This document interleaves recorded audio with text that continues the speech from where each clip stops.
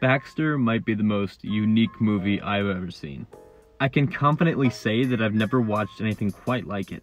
This makes me sad because for everyone in my film history class that has no choice whether or not to watch this, I'm literally about to spoil a ton of great content for you.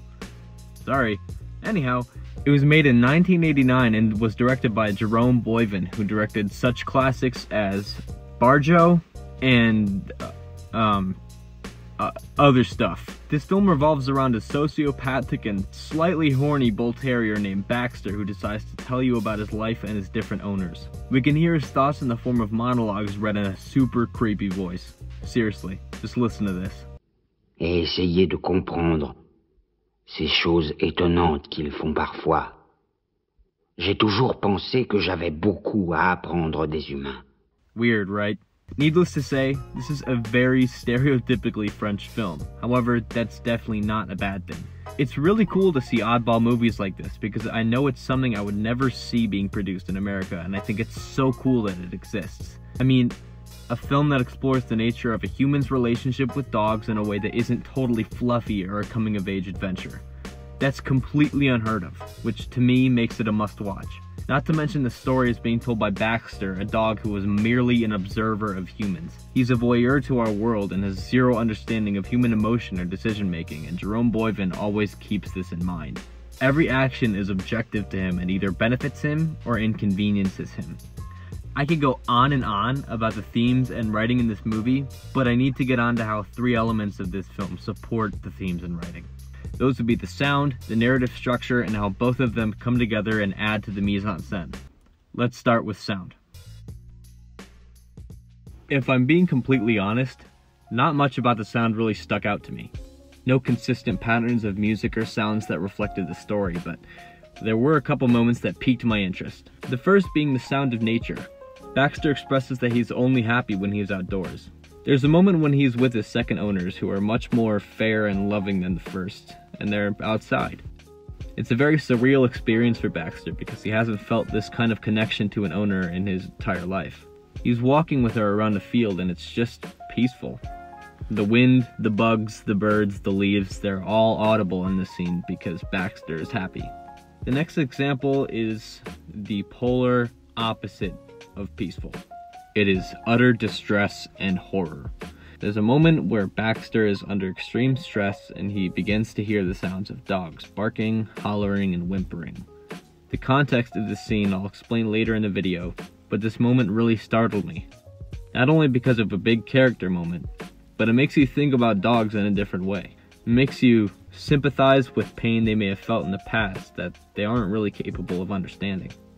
Sound of angry, scared, or hurt dogs is one that no one likes to hear, but this film utilizes it to draw out some relatability from Baxter's character. This makes the movie take a deeper tone. This is the climax of the first story Baxter tells, and it would move on to the next soon after. This film takes on a narrative structure that's almost sort of unusual, but makes sense alongside the choice of writing a story that's almost episodic. The story is told in three acts that are separated based on who Baxter's owner is. The first is called My Life with the Old Lady, and it establishes not only the beginning of Baxter's story, but also how the film decides to write a dog's thoughts. The second is called Happy Days and takes place directly after the first act. This goes deeper into the exploration of a dog's attachment to their owners and their firm hatred of change. The third is called A Human Who's Just Like Me and introduces an owner that thinks similarly to how Baxter does violently, objectively, and with little concern for others. Each act is teased in the act prior to it as well. In Act 1, Baxter watches out of an attic window of the old lady's house towards the woman who will be his next owner. He also listens to her and her husband having sex and speaks about her in a very sexual way that made me thoroughly uncomfortable, because, you know, he's a dog. They also tease the last owner of Baxter throughout the entire film. He has a dangerous obsession with Hitler and even told his crush she looked like Eva Braun and pulled out a picture of her and Hitler that he just happened to have in his pocket. If that isn't a red flag, I I don't know what is. But he has a really cool mini bunker in a junkyard by his house.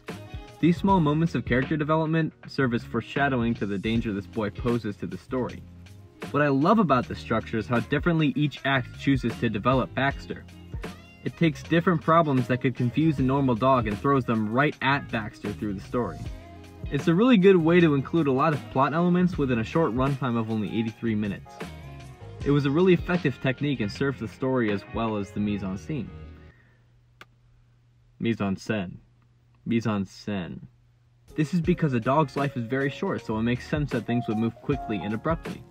It not only works in that aspect, but the quick pace this movie sets makes the slow and methodical monologues from Baxter even more engaging.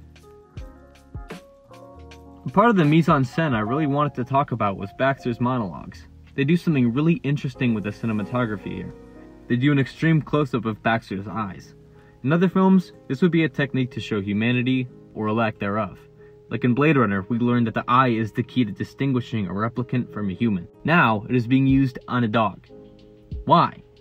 Because it makes Baxter more human to us. Even though he lacks a nose, eyebrows, and ears, making us look directly into his eyes makes us listen to what he's saying. We focus on this dog who spills his guts to the camera and we look at him as more of a character rather than a cute dog, all because of his eyes.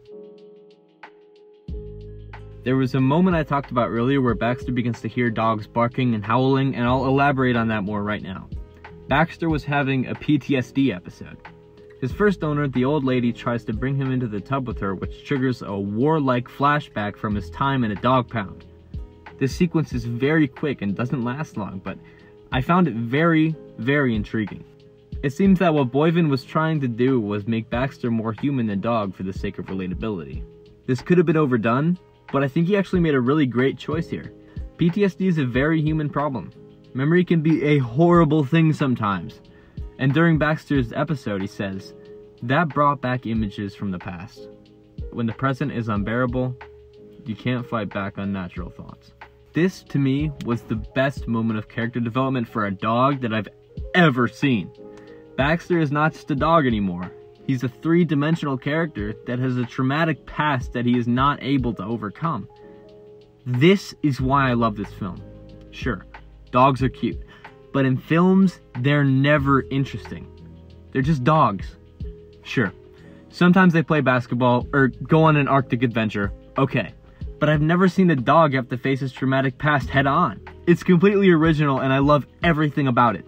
If you haven't yet, please go watch Baxter. It's worth it.